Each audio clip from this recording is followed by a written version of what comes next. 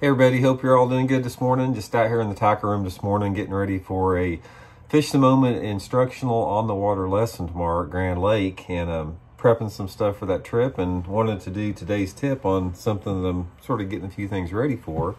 And that is sort of the difference between plastic or pork for a jig trailer.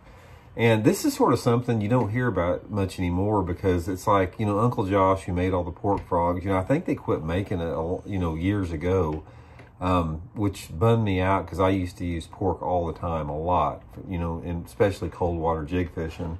But actually, they just started coming out with it again. Um, and uh, my wife actually got me a jar for, for Christmas here, uh, the new Uncle Josh pork frogs. And um, just sort of want to go over a little bit, uh, you know, some of my thoughts on pork versus plastic on it. Um, first of all, like I said, most, you know, 99% of the people out there have gotten away from pork. A lot of people have never even tried this stuff before because it's sort of like, the, unless you were back in the day like me, you know, you know, started fishing a long time ago, uh, you probably don't even know what pork is. It hasn't been available. Um, soft plastic technology has gotten so good that, you know, it's replaced pork completely. You don't have the accessibility to pork anymore. So a lot of the newer generations of anglers have probably never even tried pork. But it used to be a mainstay in my jig fishing really up until about 15 years ago when they quit making it. Um, so sort of want to go over the differences on this a little bit because it looks like, you know, pork's going to start being available again. So I sort of wanted to give you some tips on it and, you know, when to choose what. First of all, um, for most all of my jig fishing, you know, I, I, use Zoom trailers exclusively. I use the, you know, the big salty chunk. I use the super chunks, uh, critter craws, you know, speed craws. They make a, a wide variety of jig trailers that you can use.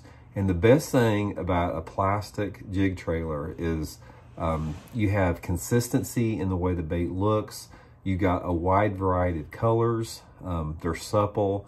There's a lot of advantages to them. They look like pork. Um, you know, they're just uh, very versatile because there's a lot of different sizes out there that you can put on different type of jig trailers. You've got the ones that you can thread on like the big salty chunks or you got the, I mean, the uh, put on like the pork frog on the end of the jig, um, you know, like this which uh, this is the way that people used to fish jigs all the time, just hanging them off the, the end of the jig.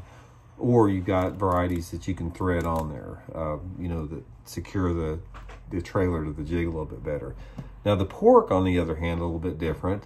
Um, here's one of the new Uncle Josh pork frogs. You know, as you can see, this thing looks pretty stiff in the water. And this is one of the big downfalls of pork is you don't have the consistency to it. A lot of times like this one, see the leg was crooked out of the package.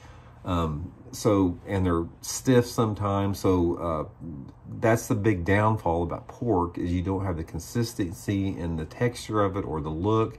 And also you don't have the color options available. You don't have glitters. And you basically got black, brown, blue, and some type of greens or whites. That's about it. But uh, I'm going to give you a few tips on using both of them. First of all, one of the things I do with my pork uh, when I get it, um, before I use it, is I I usually take a hammer and I beat it up. I'll just, you know, I'll just take it like a meat tenderizer sort of and just go all over it, beat it up. You know, I'll pull the legs out, you know, trying to get the legs straight. And on top of that, um, as you can notice, the pork that's pretty thick here, and this isn't like plastic, this is hard, this is pretty thick. One of the biggest uh, problems that you had with pork back in the day is the hook penetration factor on there because the bait is hard. It's not like a hook can go through there. And a lot of times what would happen is the hook point would actually accidentally get lodged up in part of the pork and you'd lose the fish every time because it was so tough that you couldn't penetrate it. So one of the things I always do to my pork, first of all, is I'll slice the legs up all the way to the to the head on it. You know, just you know, take some of that out a little bit more and then I always uh, take some off right here. I'll take the, some off the front of the bait like that. And see, you can see that right there. I've got a lot less of an edge on there, you know, maybe even sometimes more like that. And see, that gives you a lot bigger bite gap in your hook. And sometimes I'll even take it off the side depending upon the bulk that I want. But the thing about pork is I like to use pork in really heavily stained water. Um, you know, and I probably will probably even start doing that sometime too. Colder water that's heavily stained is really good for pork. There's something about the bulk of it. There's something about the, you know, the, the, the salt, the taste that they have on it. They just really like it sometimes. And I, it's not just exclusively for cold water um, because I'll use it sometimes in the summer too. But my main um, consideration for when I choose pork is water visibility. If I have water visibility of less than 12 inches, um, and the bass are pretty aggressive, and there's some good sized fish in the lake, that's when I like to use pork. I mean, I just, I think there's just sometimes that it's a little bit better than the soft plastic. Now, on the other hand, the soft plastic, like I said, the, the big advantages of the soft plastics, like the Zoom Big Salty Chunk, is just the, the, the consistency of it. You can see the actions a lot better on it. The colors, you know, you got glitters on it like that. You can do a lot of modifications with it. There's a lot, you know, more versatile piece of plastic. But I think there's a, a role for both of them. I think there's a there's a there's a place that you can use both pork and plastic.